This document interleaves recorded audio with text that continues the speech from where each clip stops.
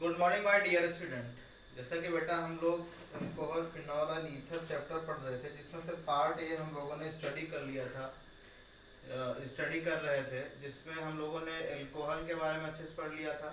ठीक है ना? उसकी preparation method and and chemical properties ठीक है? अब हम पढ़ रहे थे chemical properties of phenol okay तो फिनॉल जो है, क्या होता है? एसिडिक इन नेचर ये सारी चीज़ें प्रूफ है, मैंने तुमको कल दी थी। आज हम थोड़ा सा केमिकल के थ्रू देखेंगे कि केमिकल के मतलब केमिकल रिएक्शन के थ्रू देखेंगे कि जो फिनॉल होता है, वो किस तरह के रिएक्शन दे रहा है, वो सब चीज़ें देखते हैं, ठीक है बेटा? तो सबसे पहले हम लोग सकते हैं esterification esterification of phenol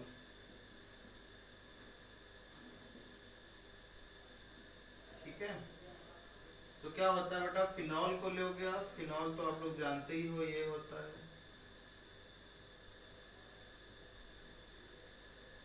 O H ठीक है? और यहाँ पे कोई एसिड ले लो C S three C double O H ठीक है? अब क्या होता है बेटा? बोलो। अब यहाँ से ओ एच आएगा, और यहाँ से क्या आएगा बेटा? एच ठीक है ना? ऐसे चाहे तो ऐसे लिख लो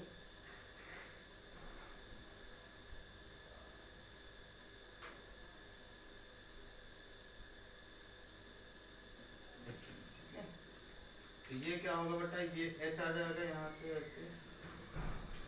ये निकल जाएगा। यहाँ पे एसिडिक मीडियम रहेगा। ठीक है? तो क्या बन जाएगा? O bond O C S three plus क्या बनेगा बेटा? एच टू ओ ठीक है ना? इसको बोलते हैं फिनाइल एसीटेट क्या बोलेंगे बेटा? फिनाइल एसीटेट ठीक है बेटा? अब इसके अलावा ये क्या बता रहा? देखो भाई, ये ये बॉन्ड जो है, यहाँ पे देखो बेटा, ये नेगेटिव है पॉजिटिव है तो ये पॉजिटिव क्योंकि रेजोनेंस में स्टेबल रहेगा, इसीलिए क्या कर रहा है? ये केवल एच को ही डिनोट करा रहा। बात समझ लो बात समझ लो कि नहीं बेटा? यहाँ पे केवल एच ही यहाँ से रिमूव हो रहा है। ठीक है ना? तो ये क्या बना? फिनाइल एसिड जैसे अल्कोहल में भी होता था, ऐसे ही होता था कि कहाँ से जाएगा? जैसे ही फिनॉल में भी वही प्रॉपर्टी शो हो रही है। दूसरा पॉइंट दूसरा point reaction with anhydride okay बेटा? एनहाइड्राइड से रिएक्शन कराओ। फिनॉल की।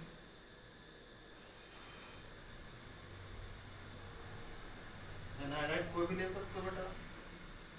C S three C O O C S three C O तो देखो बेटा एच यहाँ से ले सकते हो, यहाँ से एच ले सकते हो।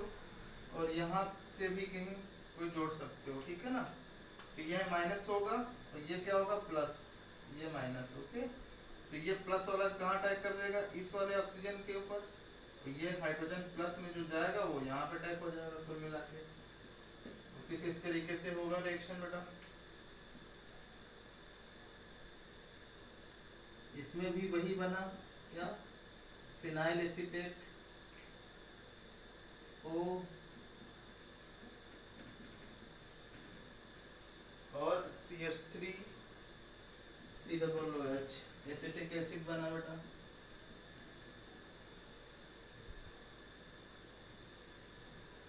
ठीक है? ये बना। और तीसरा जो है बेटा, उसको बोलते हैं क्या? सेम रिएक्शन होती है बट उसको बोलते हैं एसाइलेशन एसाइलेशन ऑफ़ फिनॉल क्या बोलोगे बेटा? एसाइलेशन ऑफ़ फिनॉल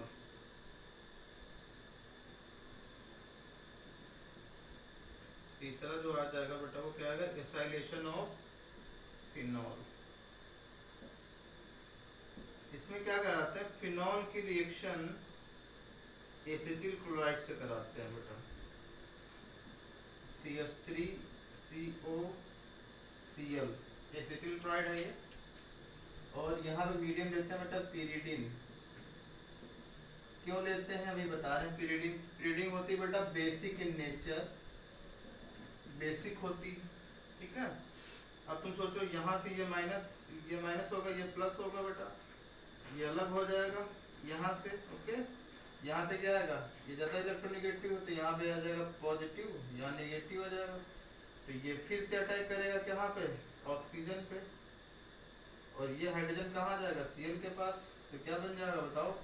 फिर से वही बनेगा। ठीक है? फिर से वही बनेगा बेटा। क्या? यहाँ पे क्या जाएगा? O C double bond O C S three plus H C L अब इस एच सी एल को न्यूट्रलाइज ये क्या है? स्ट्रॉन्ग एसिड है बेटा बोलो अब ये न्यूट्रलाइज हो जाएगा इससे बेस के द्वारा। ये तुमको क्या मिल जाएगा? फिनाइल एसिटेट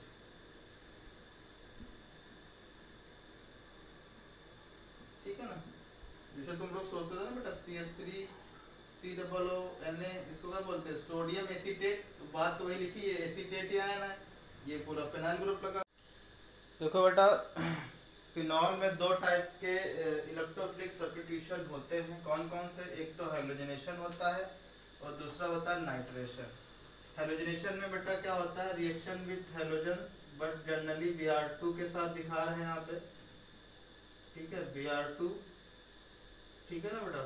और यहाँ पे केवल नाइट्रेशन के साथ मतलब कंसंट्रेटेड और डायल्यूट दोनों पे, यानी HNO3 के साथ रिएक्शन दिखाएँगे।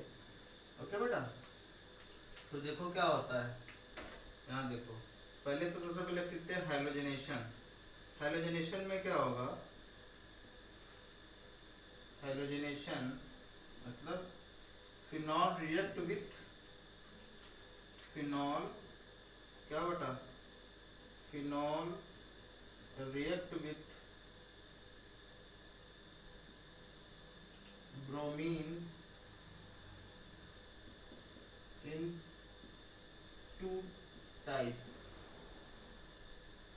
first one? First one क्या होगा बेटा? In presence of presence of C S two और C H C L three ठीक है ना?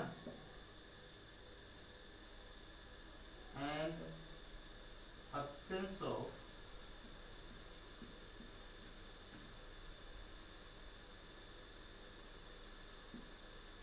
AlCl3 और FeCl3 ये नहीं लिए गए हैं क्योंकि बिकॉज़ क्या होता है बेटा? बिकॉज़ ये क्यों नहीं लिया गया ये इलेक्ट्रोफिलिक ये क्यों नहीं लिए गए? Because phenol is a good phenol में जो ओ OH है वो गुड क्या है? ड्राइंग ग्रुप है, ठीक है ना? तो इसीलिए यहाँ पे यहाँ पे ये एल सी एल थ्री ये नहीं लिए जा रहे हैं। ये ठीक है? तो यहाँ पे देखो क्या होगा बेटा, अगर हम फिनॉल को ले ले, और यहाँ पे क्या करा दे बेटा? हमने अगर क्या ले लिया बेटा? अगर हमने सी एस टू लिया और ब्रोमीन के साथ रिएक्शन करा रहे हैं C S two at at temperature केवल रूम टेम्परेचर लो टेम्परेचर पे ले रहे हैं तो क्या बनेगा? ऑर्थन पैरा। ब्रोमोफिनॉल ठीक है ना? तो ओ एच यहाँ बनेगा बी आर यहाँ बनेगा, प्लस ये ओ एच बनेगा बी आर यहाँ बनेगा। ठीक है ना? ऑर्थोन पैरा ब्रोमो बेंजीन बनेंगे, ठीक? अगर अगर बेटा यहाँ पे क्या लिया आपने? अब्सेंस ले ली। यानी कि यहाँ पे आपने क्या लिया? ब्रोमीन वाटर लिया। ब्रोमीन जल है ना बेटा यहाँ पे? तो यहाँ बन जाता है क्या? यहाँ पे कुछ नहीं दिया, ठीक है? यहाँ पे सिंपली बस ऐसे इलेक्ट्रोफिक सब्स्टिट्यूशन करा रहे हो। यहाँ पे बन जाएगा बेटा।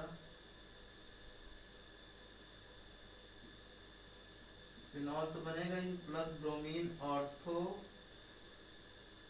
पैरा ये। यानी क्या बनेगा? Two four two comma four comma six tri bromo phenol बनेगा। ठीक है ना? ये वाइट पीपीटी आता है। वाइट पीपीटी ठीक है बेटा? वाइट पीपीटी आता है। तो ये जो है, ये रिएक्शन याद रखना बेटा, ये वाली। ठीक है ना? ये रिएक्शन याद रखना। आप ये दोनों याद रखना कि अगर सी एस टू की वजह से कराएँगे तो केवल ऑर्थो पैरा बनता है। अगर इसमें किसकी वजह से? सी एस टू या या इनकी वजह ऑप्शंस पे कराते हैं तो ब्रोमीन ये क्या बनेगा? वाइट पीपीटी का two four comma six tribromophenol बन जाता है, ठीक है? तो ये था halogenation in phenol halogenation in phenol दो तरीके का होगा। एक presence of C S two at absence of C S two ठीक है ना? आप अगर एब्सेंस में कराओगे तो क्या बनेगा? Two four six tribromo tribromo phenol एक बेटा ये चीज़ होती है कि ये ये यूज़ की जाती है पता लगाने के लिए कि बेंजीन रिंग पे OH ग्रुप है कि नहीं है। मतलब ये फिनॉल है कि नहीं कोई ऑर्गेनिक कंपाउंड आपको अननोन दे दिया जाएगा लैब में तो आपको ब्रोमीन वाटर से रिएक्शन करा दो अगर उसका वाइट पीपीटी बन जाए। तो समझ जाओ, उसके अंदर, उस एरोमेटिक रिंग के अंदर फिनॉल है। तो distinguish between aromatic and aliphatic ये भी कर सकते हैं कि distinguish between aliphatic alcohol and aromatic alcohol में क्या होगा?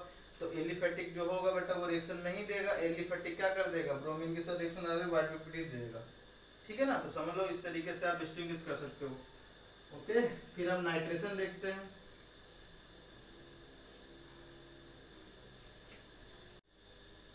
देखो बेटा नाइट्रेशन में क्या होगा? नाइट्रेशन में रिएक्शन होगी दो तरीके से। नाइट्रेशन में नाइट्रेशन ऑफ़ नाइट्रेशन ऑफ़ क्या बेटा? नाइट्रेशन ऑफ़ फिनॉल इसमें भी दो तरीके से होगी। एक में क्या होगा?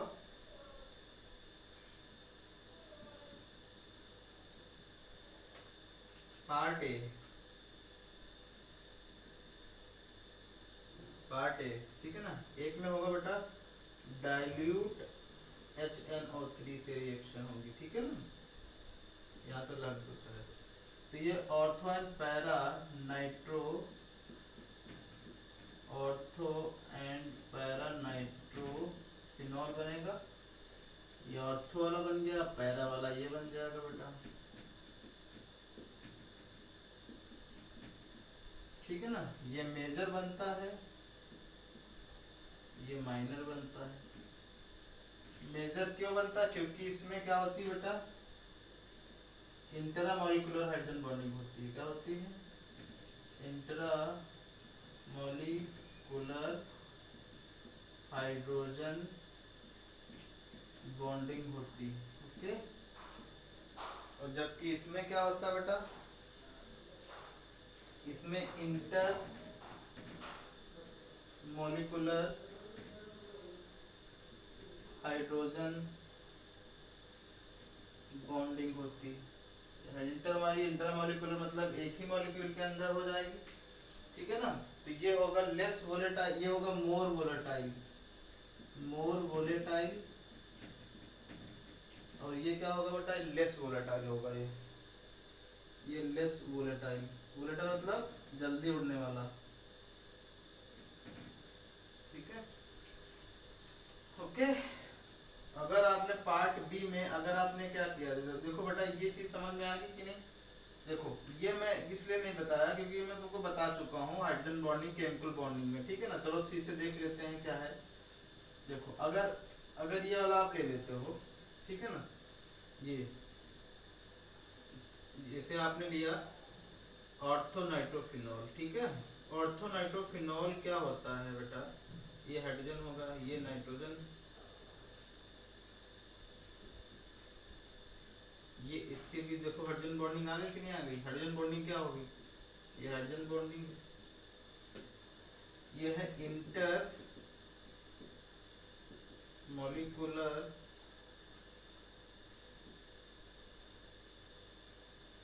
हाइड्रोजन बॉन्डिंग ठीक है ना? तो ये तो अपने अपने में ही क्या है बेटा? अपने से ही बॉन्ड बना रहा बट दूसरे से बॉन्ड नहीं बना रहा। तो इजीली क्या हो जाएगा? ब्रेक हो जाएगा भाई। दूसरा जैसे मान लो कि दूसरा भी तो होगा कोई अर्थोनाटो एक ही थोड़ी दुनिया में, एक ही थोड़ी ना है पूरे से, पूरे उसमें कंटेनर में। बहुत सारे होंगे बेटा। बट यहाँ पे ये खुद है बट ये इन दोनों के बीच कोई बॉन्डिंग नहीं है। तो इनको हीट करोगे तो हीट में क्या होता है? एक मॉलिक्यूल सेपरेट हो जाता है। यानी कि ये क्या होगा? इजीली वोलेटाइल हो जाएगा ये। इजीली क्या हो जाएगा बेटा? वोलेटाइल हो जाएगा। बट वहाँ पे ऑर्थो वाले में देखो क्या होगा बेटा? ये ये ये ऑर्थो ऑर्थो नाइट्रोफिनॉल है। ये क्या हो जाएगा? मेटा वाले में देखो क्या है? मेटा वाले में क्या है?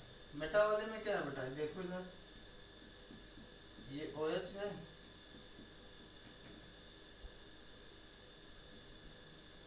अब दूसरा दूसरा देखो बेटा, दूसरा जो आएगा, वो यहाँ पे आएगा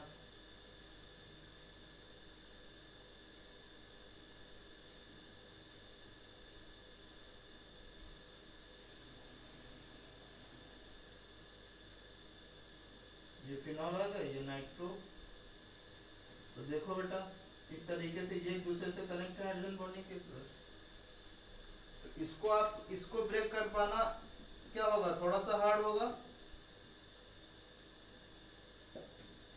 बट इसको इजीली इनके दोनों के भी मॉलिक्यूल के बीच है नहीं बट इन दोनों के बीच हाइड्रोजन बॉन्डिंग को इसको इंटर मॉलिक्यूलर हाइड्रोजन बॉन्डिंग कहते हैं, जब टू अलग अलग हाइड्रोजन एक ही मॉलिक्यूल के अंदर हो रहा तो इंटरा बोलते हैं अलग अलग मॉलिक्यूल तो इंटर बोलते हैं। इसको यहाँ पे देखो बेटा, इस मॉलिक्यूल की हाइड्रोजन बॉन्डिंग प्रेजेंट है, दो मॉलिक्यूल के बीच तो इसकी क्या हो जाएगी? वोलेटिलिटी कम हो जाएगी ना? मतलब इसको आप ब्रेक नहीं कर पाओगे उतने टेम्परेचर पे, जितना टेम्परेचर इसको ब्रेक करके इजीली ये वोलेटाइल हो जाएगा। बट ये नहीं हो पाएगा। ठीक है ना? तो पार्ट ए समझ गए? पार्ट ए में अगर हमने डायल्यूट H2SO4 से कराया बट डायल्यूट HNO3 से कराया तो क्या बनेगा? ऑर्थो एंड पैरा नाइट्रोफिनॉल बनेगा। ठीक है ना? तो अगर आपने किससे करा दिया? अगर आपने क्या करा दिया बेटा? पार्ट बी में, अगर आपने क्या करा दिया बेटा? पार्ट बी में, अगर आपने कंसंट्रेटेड कंसंट्रेटेड किससे? HNO3 से करा दिया तो बेटा बन जाता है OH तो बनेगा प्लस ट्राई नाइट्रो बनेगा। मतलब two comma four comma six tri nitrophenol जिसको बोलते हैं पिक्रिक एसिड। जो क्या होता है बेटा? एक्सप्लोसिव होता है। ओके बात समझ गए? तो अगर आपने पार्ट ए में देखिए डायल्यूट किया तो क्या ऑर्थो पैरा बनेगा? अगर आपने क्या